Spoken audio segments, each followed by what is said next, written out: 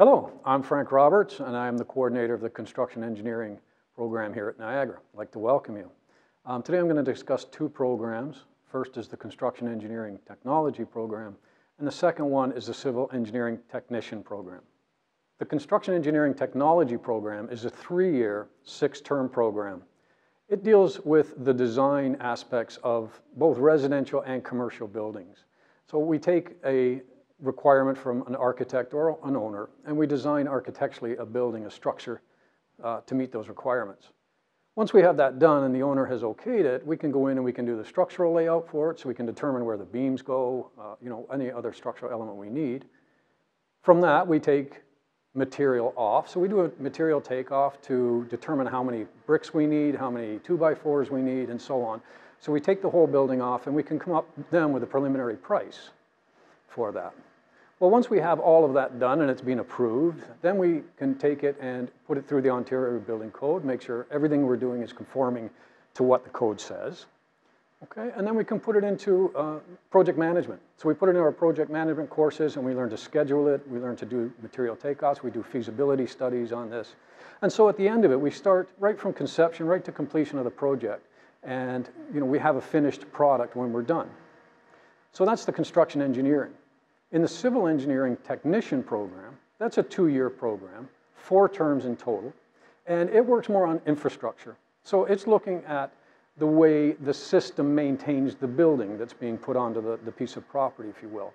So we talk about irrigation systems, about sewer system designs, about water system placements, about road designs, about highway designs, bridges, and that sort of thing. So it really touches on the structural engineering element that goes uh, into a project such as this. The nice thing about these programs is the first term is common.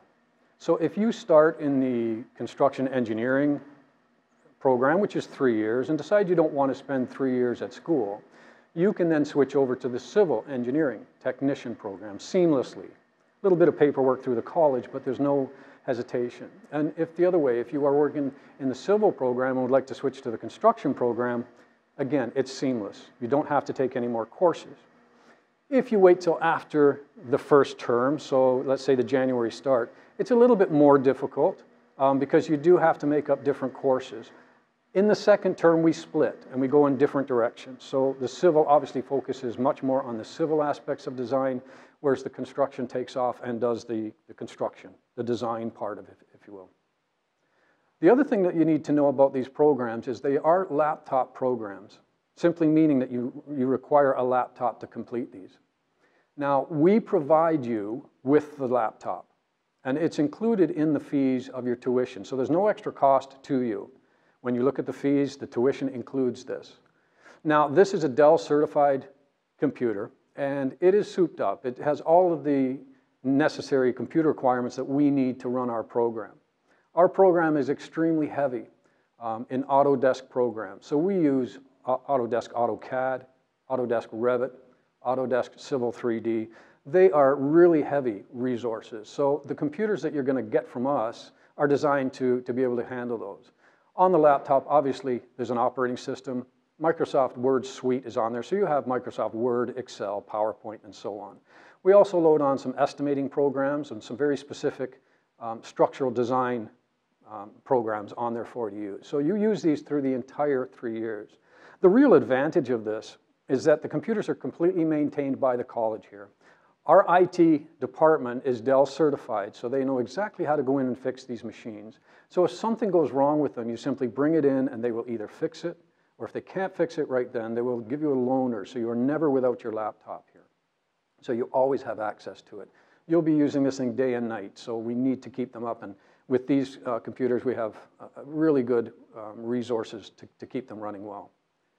Some people ask, well, I already have a laptop, can I just use that one? And I have to say, unfortunately, no, you can't, because most of the computers we buy at the big box stores just aren't capable of running the software that we need. The other problem that some students would have is that if it does break and something goes wrong with your laptop, you're not getting it fixed as fast as we get it fixed here at the, at the college. If you bought it at a big box store, they're going to take it, send it away, it's going to come back, and you'll be without your machine for a week or two. In these courses, a week or two is an extremely long time. Um, so that's why we, we do offer the laptops. when you're completed, um, you bring the laptop in prior to graduation and they take some software off. Okay, because we can't give you the licenses for the Autodesk, but you get the machine back with the operating system and Microsoft Word uh, programs on there as well. And it's yours to keep. Okay, so it's included in your tuition, so there's nothing else that you have to, to purchase um, from a laptop perspective in this. Okay, this is something that we use for our architectural design courses. Both civil and construction use these in the first term. So this is a first term course. Obviously with COVID, it's gonna be a little bit different, but uh, when we do get back in classroom, this is what we actually use. We provide you with a drafting table and complete with Borco on it, and we place it on this desk. This desk still has enough room for your laptop so you can look at the instructions and create manual drafting drawings on these sheets. These are the drafting tables that we use for your first year architectural course, and it is common between both construction and the civil programs. So we use these to create a, a manually drafted floor plan of a, of a, basic house that we use. And from this, we learn uh, some of the design aspects and some of the commonalities that we use when we're designing um, a residential floor plan. Okay, so we use these on these desks and they are adjustable. They go up and down for, for height so you can be comfortable when you're drafting. The tables are large enough to put your laptop on as well so you can have the instructions on your laptop and you can be drawing here. Okay, there is power underneath here for your laptop and obviously the whole room is wireless so we can get, get, get it done that way. This is our print room and it's dedicated to us in this building. Um, so this is where you can come and you can print all of your large size drawings. So when we get into AutoCAD and Revit and Civil 3D drawings, um, we print them out on this large OCE. And this is brand new, it's, uh, only one year old. Um, and so this is where you get your large format drawings printed. We have a work area here for you to lay your drawings out uh, and get them all in order. And we have a nice trimmer over here that trims all of your drawings off to make sure that they all line up and they all look very, very professional quality. We have the printer over here that prints out all of your tabloid size and your letter size documents that you have to print. So whether it's a, a written form or whether it's a small drawing that you want to, to print out, you print it right from here. Okay, and it's pretty straightforward. It comes right off of your student card. You do put some money onto your student card for printing. You send it to the printer, you tap your card, and both machines work. Okay.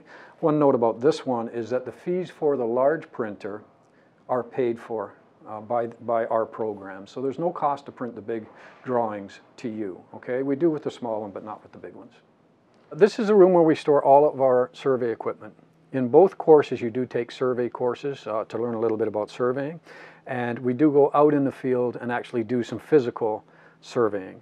Okay, and this is just the, the, cupboard where we keep all of our machines. We have total stations, we have theodolites, we have levels, um, we have tape measures.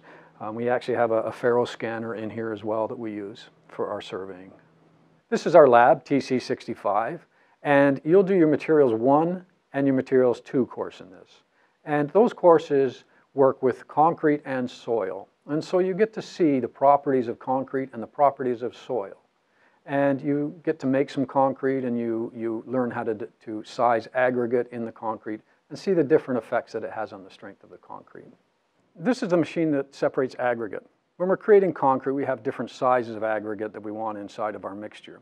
And so what this machine does is we put a mixture of aggregate in the top, and this shakes it back and forth.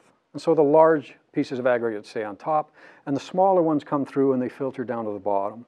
And so that gives us a range of different aggregates that we can use in our concrete mix when we actually test it. If you have any more questions, um, certainly get in touch with me through the Niagara College website, Frank Roberts. That would be for the construction. If you have any issues or questions about the civil engineering program, contact Denise Fanache, and you can get her information on the, on the website as well.